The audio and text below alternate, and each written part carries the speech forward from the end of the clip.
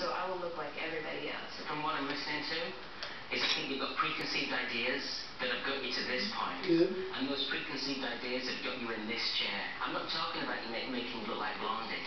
No, That's what I'm not talking about. But I'm saying that, you know, you have the chance to make it happen. If you don't, you're just going to look That's me. plain. And obviously, I mean, to me, you look like every other college buff nerd out there that's trying to be natural. You know, we want to make you a little bit blonder. Sure. We want to make you look sexy. We want to make you look cooler. We want to make you look more attractive. We want to make you stand out. I do, oh, definitely do want that, but I, I think that you don't need to change the color of someone's hair. Sorry, honey.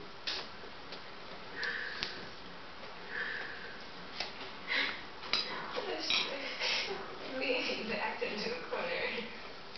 And I kind of knew this was going to happen. I know whatever you, you're going to do this is going to look terrific, but I don't know if I want to make I don't know if I'm ready. Megan goes for a walk around the block. Why? It's good for you. This is just full of sugar. This jug. It's sugar. Delicious sugar. Yeah, it cares about the camera more. Trying to.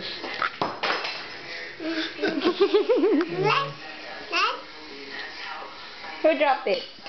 Gonna need another spoon. We're not going to force it to take colours and stuff. We want it to feel good. And even though we're only talking about getting the colour to be a little bit brighter and natural, she's just really scared about having any colour done to her hair. So let's cut it. He doesn't want any anymore?